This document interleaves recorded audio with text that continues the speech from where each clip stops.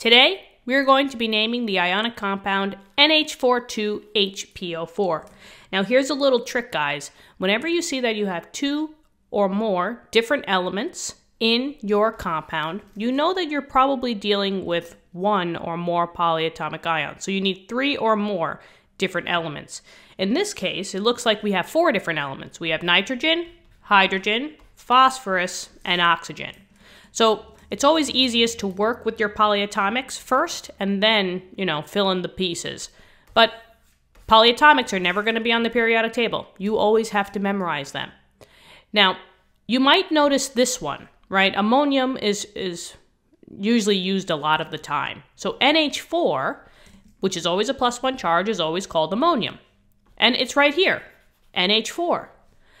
Now, there's another polyatomic. Sometimes you could have two polyatomics, and that's this one down here as well. HPO4, if you see that grouped in a compound, that's a polyatomic. So HPO4 is a negative 2 charge, always, and it's just called hydrogen phosphate.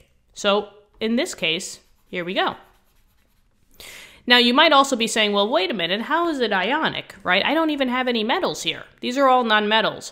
But if you do have two polyatomics, they form via ionic compounds. They have charges. One is positive and one is negative, and that's what ionic compounds are. So now, all we got to do is just name them. Polyatomic ions, that's all we have here. And both of them, their name stays exactly the same. So that's why you got to memorize them. So ammonium first. I'm going to put that down. Ammonium. And then the next one, HPO4, is hydrogen phosphate. And in this case, we don't need a Roman numeral because we don't have any metals. The Roman numeral is always the charge of the metal. But we don't have any metals here. We just got two polyatomics. So we're done.